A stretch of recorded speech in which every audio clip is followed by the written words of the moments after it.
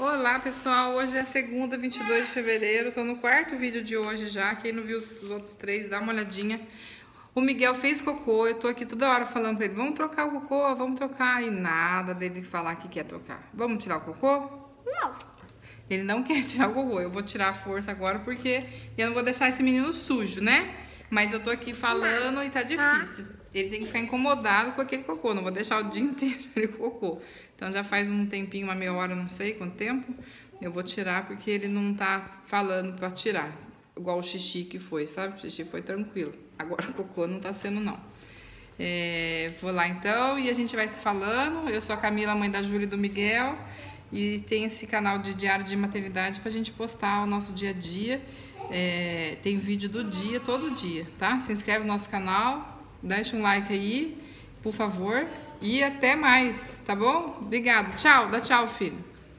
Vem dar tchau. Aqui. Aqui, Miguel, ó. Aqui, ó. Tá pegando meu sazon. Dá tchau. Tchau. Manda beijo.